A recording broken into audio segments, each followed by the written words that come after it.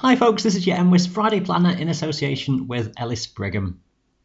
Now, I'm sure you're aware that there is some very dramatic weather on the way into the start of next week as exceptionally hot air is drawn northwards across the British Isles. The focus of that into Scotland is for Tuesday, but across England and Wales, both Monday and Tuesday are going to bring record threatening temperatures. Before we get to that, a reasonable weekend, a mixture of some cloud and some local drizzle, but a lot of fair weather in the story. Eventually, by the time we get to midweek, the heat has gone and we're back to more typical summer values. Let's look at the weekend first of all, though, and this is Saturday. High pressure is across the British Isles. We have some fronts skirting toward the north and that responsible for some drizzly rain and a few drizzly showers coming in to western coastal hills in Scotland, where banks of low cloud will be rather stubborn on those western mountains. Away from these areas, any early cloud banks should lift and break, and it's uh, some sunshine around, but some high level cloud may just be in the sky at times. Sunnier overall across England and Wales, not too much wind around here. We do have a stronger breeze though from the southwest across the Highlands, particularly in the far north and northwest, where very gusty at times. The breeze just freshening a touch too across northern England as the day goes on. Temperatures on Saturday then are fairly pleasant overall. Just to run the sequence onwards through Saturday evening and into early Sunday, this chart shows the rainfall and the cloud extent. A lot of this cloud that's shown here is very high level stuff so uh, only some western coastal hills in Scotland generally being shrouded by any low cloud. Most of the cloud is higher up, but there is some rain that will be around into Saturday evening and overnight uh, across England and Wales, mostly just spits and spots really from that high cloud, but something a bit steadier for a while running in across Scotland through to dawn on Sunday. Some heavier falls possible for a while, but that tending to fizzle out and again just becoming spits and spots as the morning goes on. Uh, most of it clearing away, but some drizzly, patchy rain may just linger for periods across northern parts of Scotland. The amounts generally small, but could just lead to some damp conditions for a while. And again, a fair amount of high level cloud could be quite extensive across the country, but fairly thin for England and Wales, so some very warm sunshine developing here. That's how the chart looks for Sunday. There's the trailing front just toward the north, producing that uh, risk of some patchy rain at times. High pressure centred just to the east of us, allowing the airflow to start to be drawn in from the south and temperatures then rising. By this stage, it's really just a pleasantly very warm summer's day with values in the valleys across England and Wales into the high 20s, a few spots nudging towards 30 degrees as we head through the afternoon. Pleasant temperatures across Scotland. We do have quite a gusty south to southwesterly wind that may well increase as the day goes on, particularly for England and Wales, and quite breezy too generally for the northern hills in Scotland. Into Monday, and this is where the extremely hot temperatures do take hold, focused across England and Wales. We have high pressure centred just to the east of us, low pressure around the Bay of Biscay, drawing in that airflow then directly from the south. Not too much wind around, but locally could be gusty in places. Valley temperatures then across the Peak District and around mid Wales likely rising into the mid 30s Celsius and widely, I suspect, topping 30 degrees across northern England and the south of Scotland. Around the central belt into the high 20s, I suspect, around 28 Celsius here.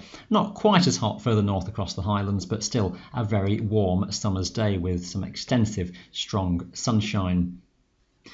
Just to really reinforce the temperature story, now this chart is one of our forecasting model simulations. Now this is representative of around 700 to 800 metres in elevation. Hopefully you can just about make out a faint background of the British Isles on this map. It's the temperature situation for Monday evening and this indicating then that temperatures at that height, so we're looking at almost mountain top levels around the Lake District and across Wales, uh, you'd be suggesting values at that level of around 25 to 28 Celsius. And just look as we go into the overnight hours into Tuesday, these are temperatures that would exist through the night across the mountains into the high 20s Celsius across England and Wales. That's at around 750 to 800 metres. You'd be in the high 20s Celsius through the night. Extremely hot temperatures then would be experienced even up on the mountains. That hot air drawn northwards towards Scotland into early Tuesday, not quite seeing the very highest of those values into the Highlands, but nevertheless, I suspect during Tuesday daytime, uh, values up onto the Munros likely to get to around 20 degrees or possibly higher in places. Look how things change though very quickly from the west as we head into Tuesday evening and night as those temperatures then start to come down and as we're just going to run this story on into the start of Wednesday temperatures at around 700 metres or so are back down to only around 12 Celsius across Snowdonia, uh, and likewise similar further north as well. And for Wednesday daytime, you could well be back into single figures.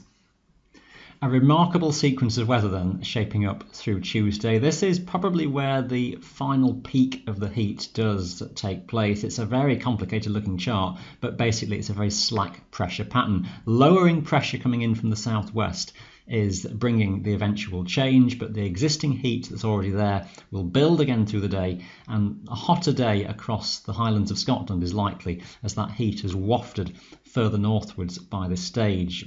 Temperatures in some of the glens could be well into the 30s by this time. The wind may well vary, it could be very strong and gusty, even gusting gale force around some of the hills at times through Tuesday. That could be quite a variable story. High cloud amounts will be crucial in terms of just in terms of the very highest temperatures that do develop, and that high cloud also could start to see the change into a thundery breakdown. The potential for some thunderstorms breaking out in a very hit and miss manner from the southwest later on in the day and onwards into Tuesday night, as eventually the fronts to the west bring the change of pattern. Hopefully, the message is pretty clear through this period as a whole, then, that there are serious health concerns as a result of these temperatures dehydration, sunstroke, heat exhaustion, all to be taken very seriously through this time. For Wednesday daytime, then, low pressure is moving across the country. The risk of some very strong winds being around as that system moves through, and some thunderstorms or some heavy areas of rain associated with those fronts could well be in the story. Detail is very sketchy, it must be said, how this plays out, but that's the breakdown, that's the change, and a much, much cooler day by this time. High pressure to the southwest, following that, tending to build and settle things down again.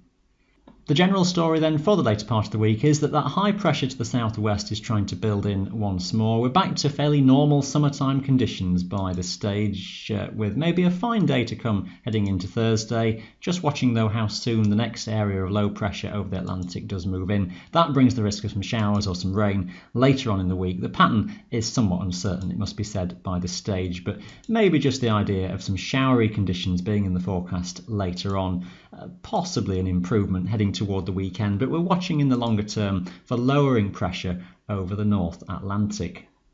The indication then into the final week of July is that that low pressure will start to dominate and bring more mixed or unsettled conditions. It just depends how far towards Britain that low pressure moves in. If it sits just to the west of us, then some places, particularly further south and east, could stay more often dry. But we'd expect a more changeable and fresher story to the weather pattern through this time. Southern regions may see some warm days, further north and west, more often on the cooler side.